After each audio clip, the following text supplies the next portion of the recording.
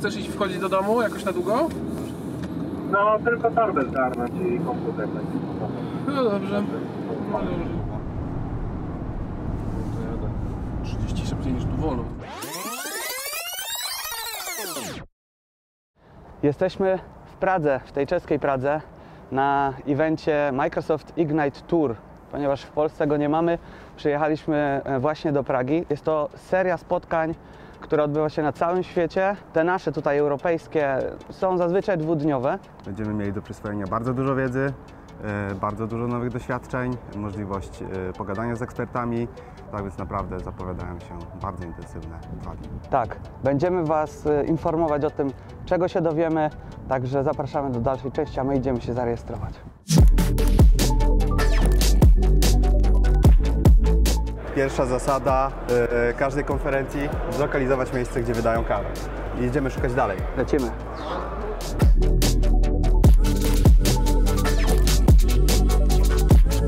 Dobra, to drugim najważniejszym elementem konferencji poza kawą jest aplikacja do planowania, czyli którędy chcemy iść i na jakich, w jakich sekcjach, e, sesjach chcemy brać udział i tak dalej.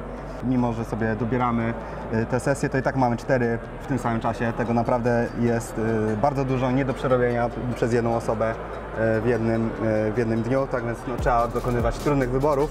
Ja myślę, że na tego Edge'a moglibyśmy pójść, bo to jest takie consumer facing. Wielu osób, wiele, osób jest bardzo mocno uprzedzonych do tego Edge'a. E, Nie dziwię się, aczkolwiek ten po przysiadce na silnik Chromium e, sprawuje się całkiem nieźle, tak więc może podrzucę nam jeszcze parę powodów, dla których powinniśmy e, na tego Edge'a się przesiąść. Dobra, Idziemy. idziemy.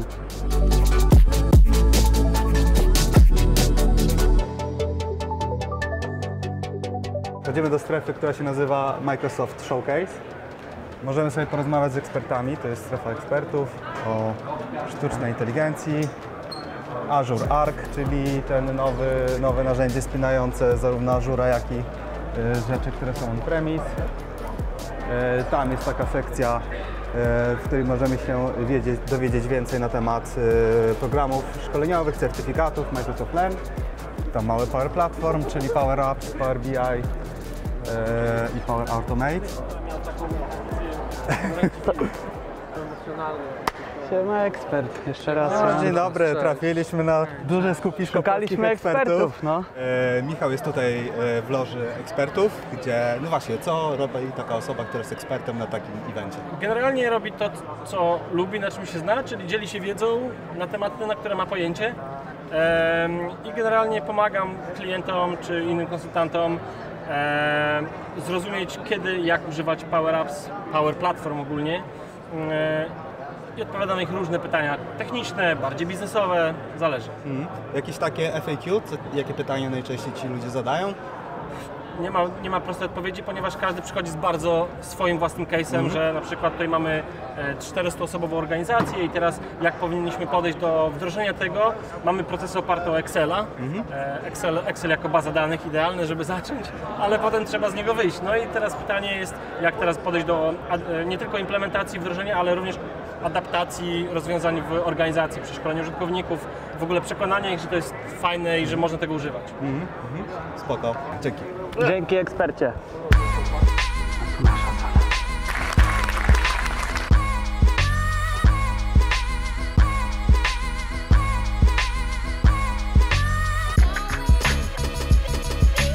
Kolejna ważna rzecz, koszulka, tak? Z każdego eventu musi być koszulka.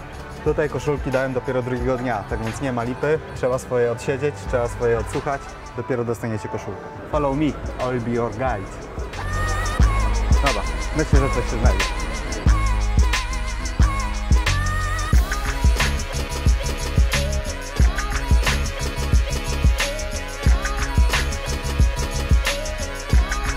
This uh, Ignite Tour is more focused on the Azure because all the Azure stuff is happening in this Congress Hall and you don't need to move anywhere, just sit. Jesteśmy w sali kongresowej.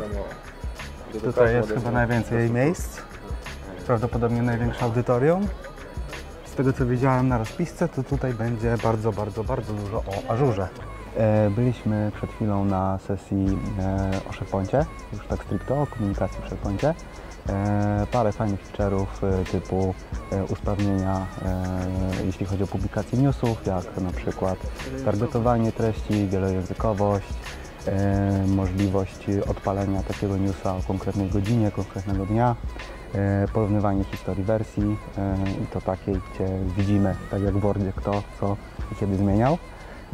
Oprócz tego troszeczkę o communication site'ach, nowe e, nowe template'y, e, home site'y, to jest ciekawa sprawa, czyli e, taka, taka strona główna internetu tak naprawdę, która nam zbiera informacje ze wszystkich, mm, ze wszystkich site'ów, taki coś jeszcze więcej niż hub, można by powiedzieć. E, I co jest ciekawe to to, że to się bardzo fajnie integruje z natywną aplikacją mobilną dla SharePointa, tak więc wchodząc w takiej aplikacji od razu lądujemy na tym home site, tak więc to jest powiedzmy przyszłość dostępu do całego SharePointa, do całego intranetu. Lecimy dalej. Łukasz Potrzebka,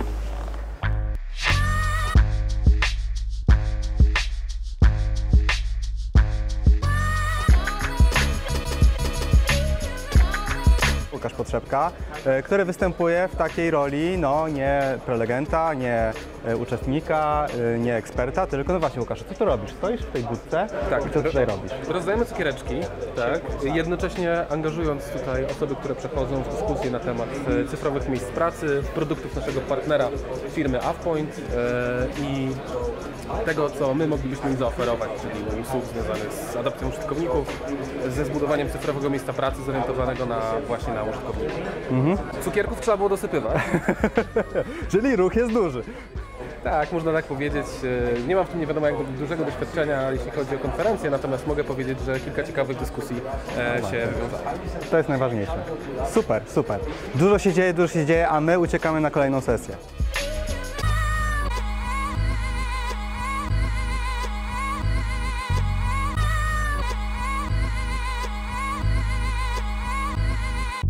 Dobra, Jesteśmy po pierwszej takiej sesji, w No, której padły jakieś daty. jest konkretna sesja. Tak. Sesja z, e, ze strumienia SOIS, SharePoint, OneDrive, Yammer, Stream, czyli takie tematy właśnie związane ze współpracą. Z naszą w zasadzie z też działalnością. komunikacją, mocno, w no. sumie bardziej z komunikacją niż ze współpracą. Sesja była głównie o Yammerze, Tak. ponieważ 2020 to jest rok Yammera. E, Pogłoski o śmierci Yammera są e, mocno przesadzone. Dementujemy, dementujemy. Dementujemy. Dementi. Yammer będzie żył, Yammer e, w zasadzie będzie miał nowe życie. Zapowiedziano już jakiś czas temu, ale teraz coraz bardziej, coraz więcej szczegółów jest na temat nowej apki Yammerowej, e, nowego w ogóle wyglądu Yammera. e, Nowych Q&A integracji. Yammerze, e, integracja Yammera z Teamsami, integracja Z Outlookiem. z Outlookiem, dokładnie. E, Duży też, duży też nacisk położyli na live events y, w Yammerze, typu town hall dla pracowników, jakieś tam obwieszczenia zarządu i tak dalej. No to wszystko e, idzie w kierunku takim, że takie rzeczy, szczególnie w organizacjach, które są jakoś tam geograficznie rozproszone, no to będziemy robić przez e, Yamera. Yamera. Tak, będziemy mogli dosłownie w trakcie trwania webinaru wypuścić w, y, tą Formsa, zadać jakieś pytania. Dzisiaj widzieliśmy z tego demo, naprawdę fajnie to wygląda. Oczywiście te wszystkie zmiany są w ramach Waszych licencji, no to wszystko jest Mhm. w ramach odświeżenia Yamera. O, e, wsparcie dla konwertowania klasycznych SharePointowych sajtów do e, sajtów modernowych. Tak. E, Oczywiście mówimy tu o publishing to communication sites. E, No i rozszerzone możliwości bran- brandingu, tak? czyli możemy jeszcze bardziej dostosować intranety SharePointowe do naszego systemu e, identyfikacji wizualnej. No ale przede wszystkim, przede wszystkim Yammer, przede wszystkim e, e, live event. E, Bardzo się przydaje właśnie e, taki live, nagrany live event e, W procesie onboardingu, procesie no. onboardingu, gdzie każdy może do tego wrócić, e, każdy może się z tym zapoznać. Tak więc no, dużo, dużo takich, e, dużo wsparcia dla różnego rodzaju e, procesów e, komunikacji. Dużo odnosili się też do streama. Nie wszyscy o tym wiedzą, że Tak. stream tak naprawdę jest backendem zarówno dla live eventów e, w Yammerze, jak i w Teamsie, tak więc tam gdzieś to wszystko leży pod spodem w streamie. W streamie mamy e, automatyczną transkrypcję, mamy e, przeszukiwanie później po tym transkrypcie, żeby trafić do tego miejsca wideo, e, w którym pada jakieś hasło, tak więc no tutaj e, powoli przechodzimy e, z ery, e, z ery powiedzmy komunikacji tekstowej na, e, do ery komunikacji wideo. Myślę, że Intelligent Intranet Transform Communications and Digital Employees Experience wygląda e, zachęcająco. Tak więc kierujemy się do South Hall Number One. Gdzie to? Tam.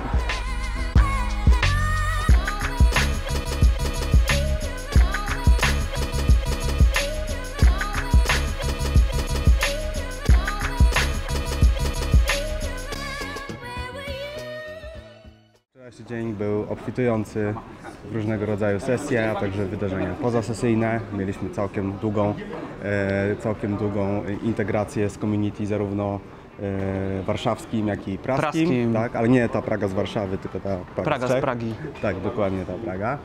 E, no cóż, a dzisiaj, dzisiaj jedziemy dalej. Dużo nowych sesji, trochę nowych ścieżek, kontynuacja ścieżek z wczoraj. Tak więc dla każdego coś Miłego. E,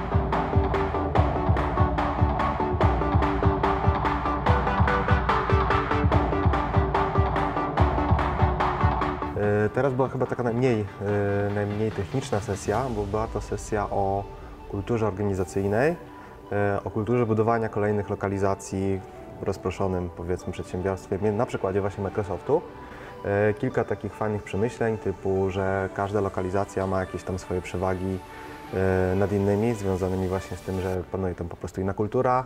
E, Przykładowo to właśnie z Indii pochodzi e, aplikacja Kaizala, która obecnie jest integrowana w Teamsie, E, a ona powstała, mogła powstać w zasadzie tylko wyłącznie w Indiach, ponieważ tam jest e, powiedzmy największa kultura, jeśli chodzi o wymianę różnego rodzaju informacji SMS, tak?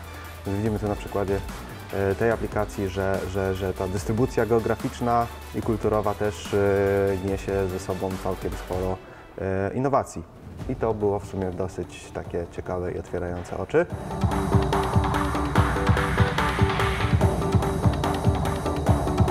Koszulka to jest ważna rzecz, pamiątka. Nigdzie takiej nie dostaniecie. Każdy Ignite Tour ma inną koszulkę.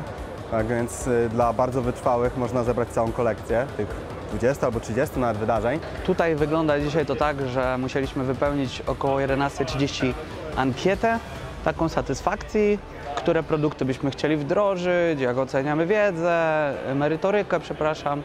Tego typu informacje, feedback dla Microsoftu, a potem możecie iść e, i e, badżem odbijacie i potwierdzacie, że zrobiliście tą ankietę, dostajecie koszulkę. Certyfikacja w Microsoftie to nie jest po prostu nie są rurki z kremem, tak? E, tutaj mamy dosyć skomplikowany diagram zależności pomiędzy różnymi egzaminami i jakie certyfikaty, jakie powiedzmy stopnie wtajemniczenia możemy dzięki takim egzaminom zdobyć. E, No to się na pewno przyda, bo my też staramy się być e, na topie z najlepszymi typami tych Ale też, ale też Microsoft trochę od nas wymaga tego, abyśmy Tak, mieli tak, tak. certyfikaty. Żeby być, żeby być e, uznanym za partnera, trzeba się cały czas certyfikować, zdobywać kompetencje, tak więc musimy być i chcemy być na bieżąco z tym wszystkim, co mamy tutaj rozrysowane.